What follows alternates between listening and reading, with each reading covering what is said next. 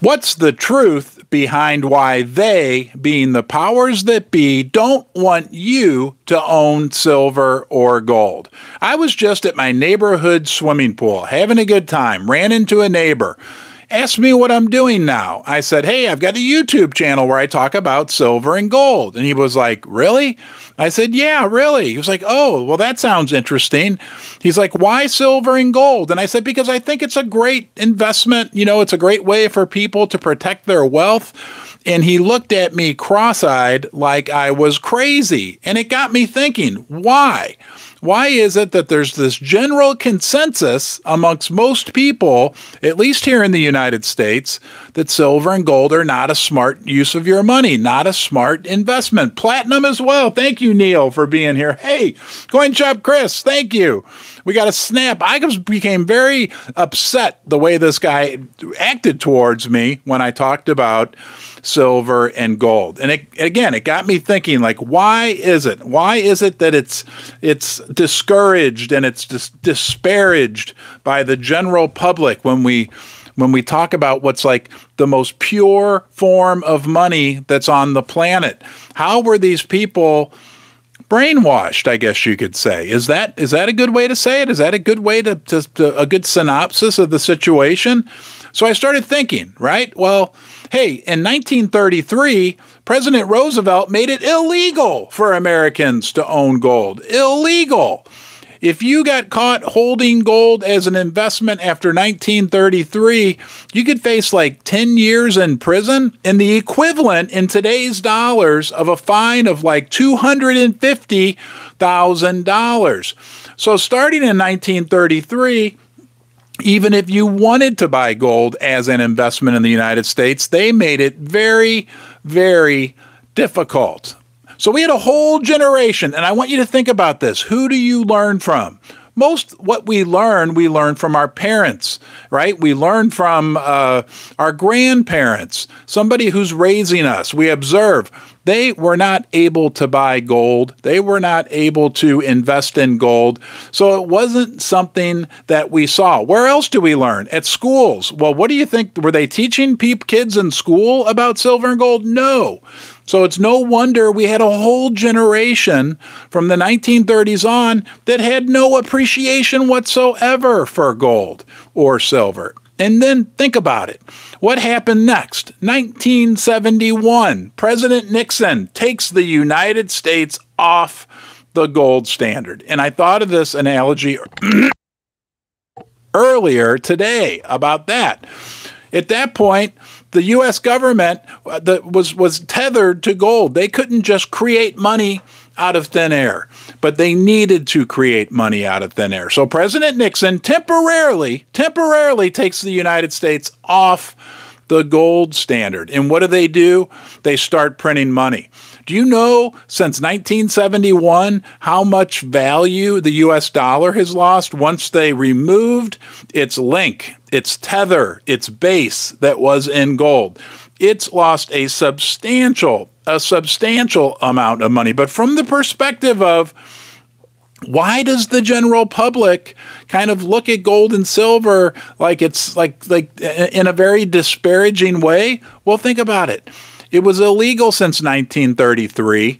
It wasn't until 1974, after Nixon took us off the gold standard, that it was made legal for you to own gold again. So we've got that whole period, right? And then they make it legal again but not until they removed the peg or the or the tether of the dollar to gold.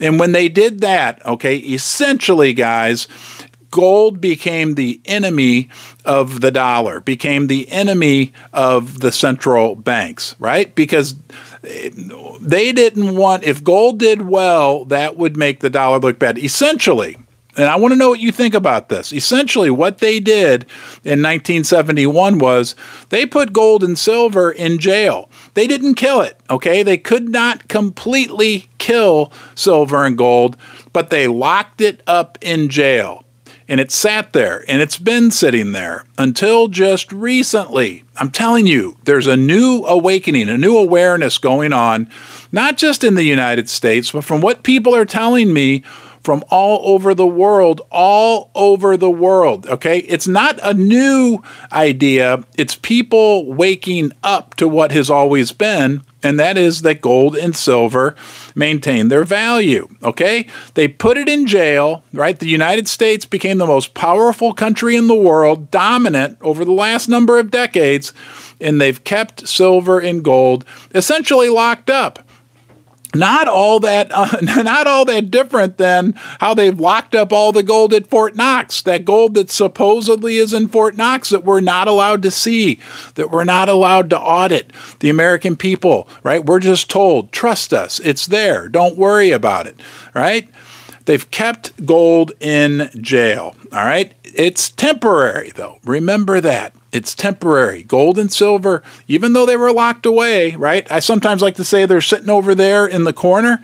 Nonetheless, nonetheless, they have maintained their value. And I'll go back to this. I've said it already today to you, but it's worth repeating the world has never do you do you think the world has ever really gone off the gold standard? John exter exter's pyramid former federal reserve governor who didn't die but what mate 15 years ago 20 years ago?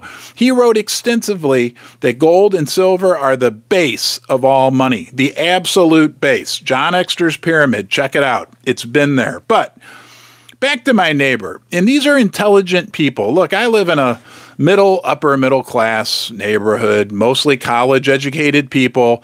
This guy I know has a master's degree, which is great. I'm not putting down or putting up anyone with any level of education or degree. But even what the supposed educated people out there have no idea right? 98% of them have no clue as to the actual value of silver and gold. And you know, there's another reason why that's the case. And that's because the financial services industry does not have the ability to make a lot of money by selling gold and silver investments. I've heard the top people talk about this, and I agree, and I know it to be the case, right? They make they make good money putting their clients, their their their financial planning clients into mutual funds where they get to skim a little fee, 1%, half a percent, no matter what it may be. They don't have that opportunity with silver and gold. They're going to say, go talk to one of these name brand financial, big name financial firms and ask them about silver or gold, right? They're going to act like you're crazy, you're outdated.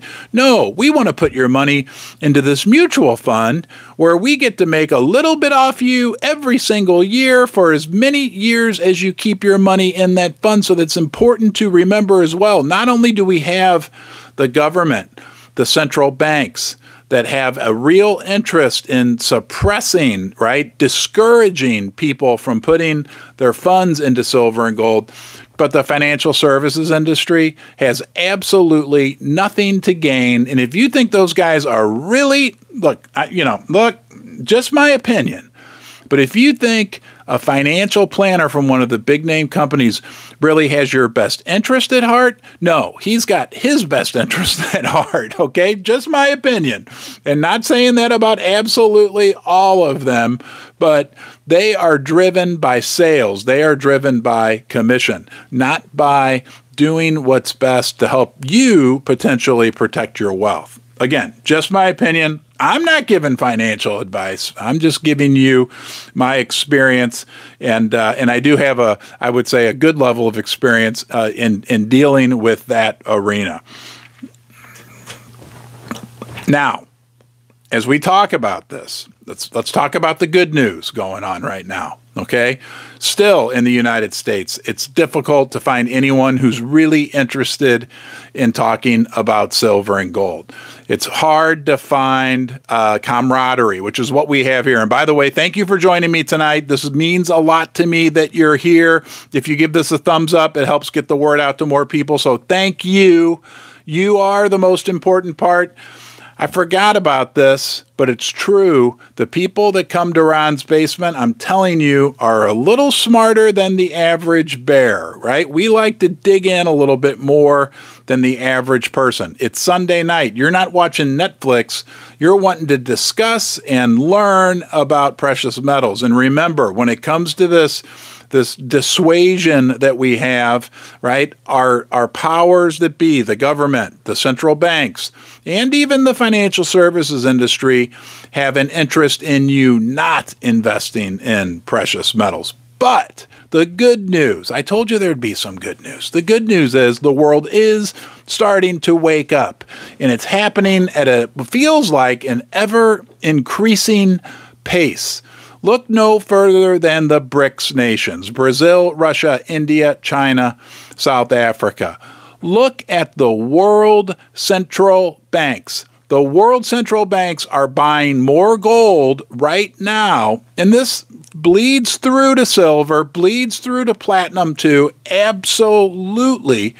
But they're buying more gold right now than they were buying during a lot of years when the world was still explicitly, officially on the gold standard. Think about that.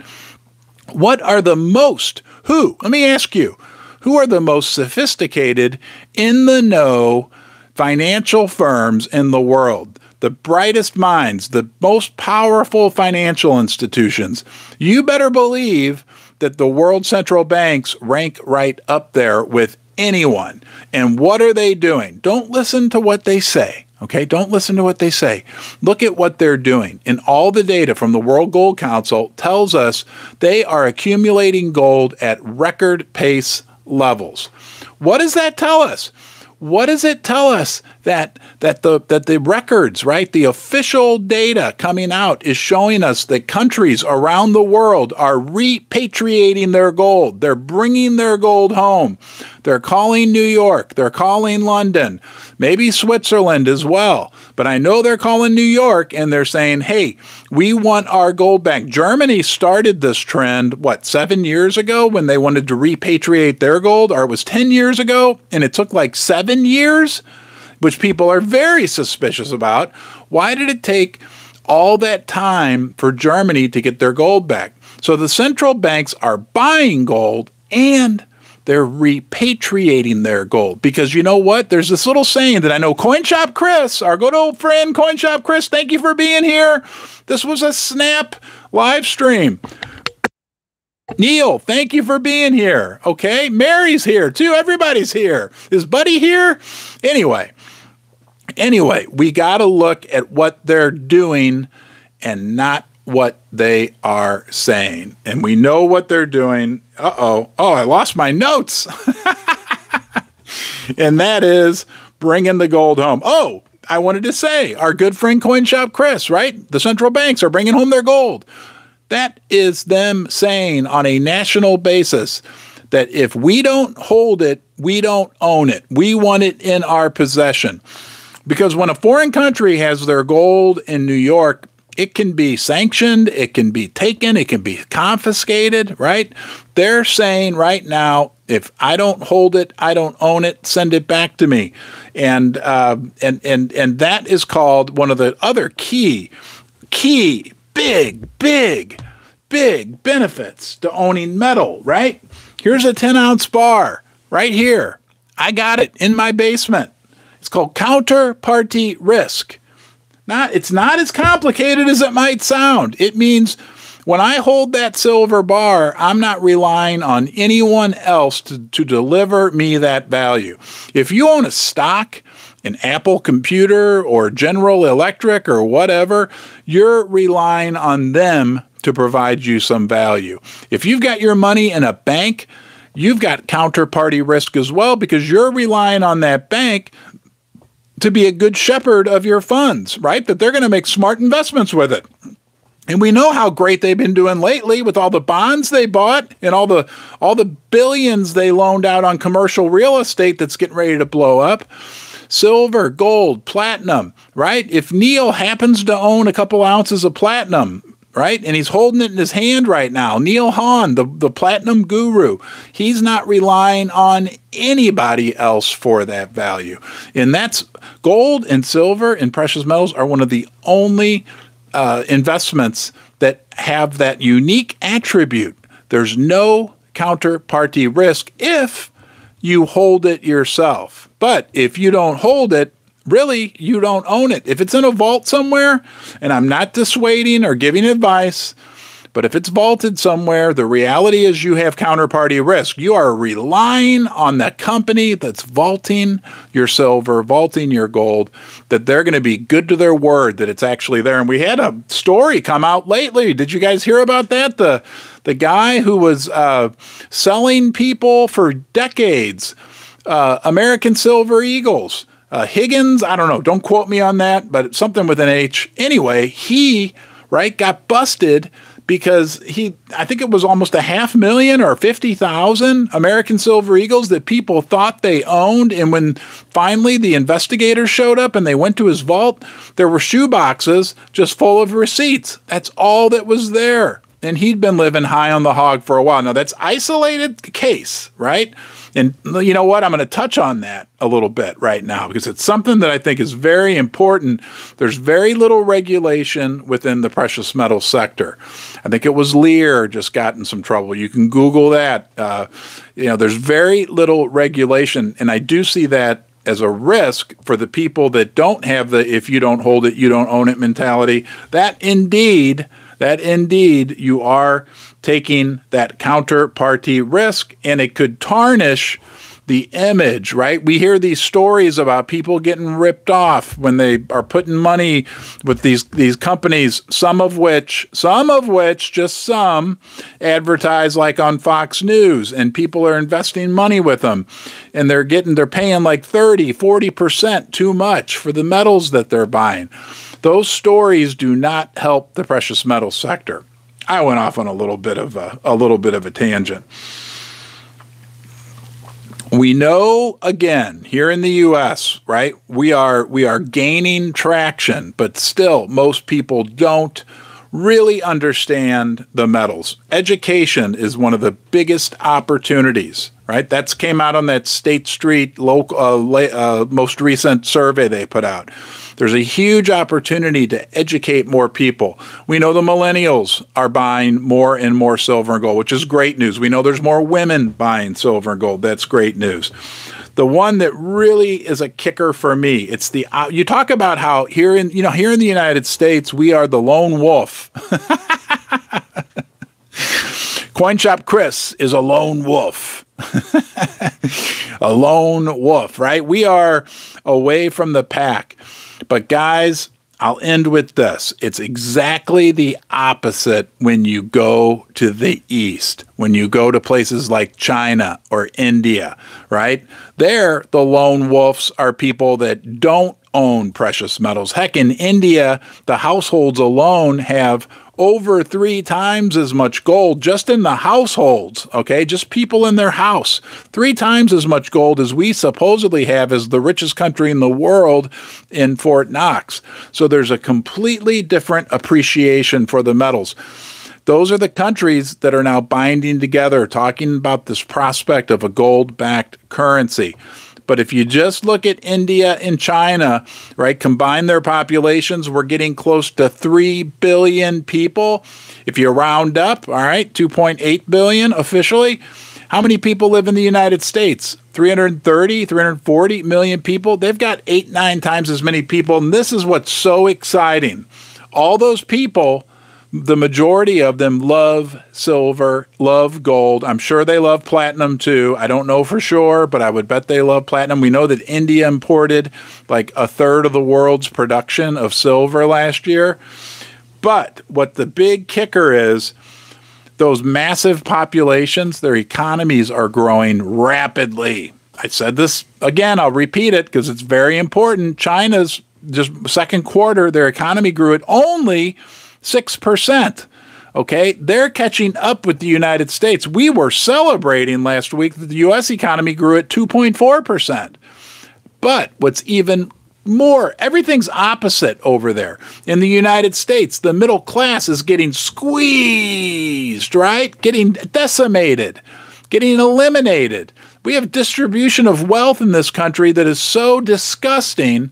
And sure, that's not on the mainstream media because they don't want you to know that the rich people now have more of the wealth of this country than any other time in history. But over there, everything's different. They all love silver and gold. Their middle class is growing, their economy is growing. Look at the big picture. Look at the forest through the trees, okay? Hey, I appreciate you guys joining me tonight. Paul K says, What do we think is going to happen if Japan starts selling the dollar? Uh, that will be bad for the dollar. That will be bad for uh, or good for precious metals. Hello, Mary. Hello, Neil. Thank you guys for being on here tonight. This was a snap, uh, a snap live stream. I just got really triggered. I don't think I've ever said that. I was triggered when I was talking to this neighbor and he acted like I was a nut because I like silver and gold. Like CoinShop Chris says, you know what? If things get really bad and he knocks on my door, um, I will, I can't use the exact terminology, but we'll say, forget him and feed him beans, right? CoinShop Chris says he's going to leave a case of uh, beans on the front porch for anybody who shows up. All right, you guys have been awesome. Thank you for joining me. Okay. I'll see you this week. Take care. I'm so, so lucky and so blessed to have the opportunity to talk with you, even on a Sunday night, even at the spur of the moment. Take care, and I'll see you soon.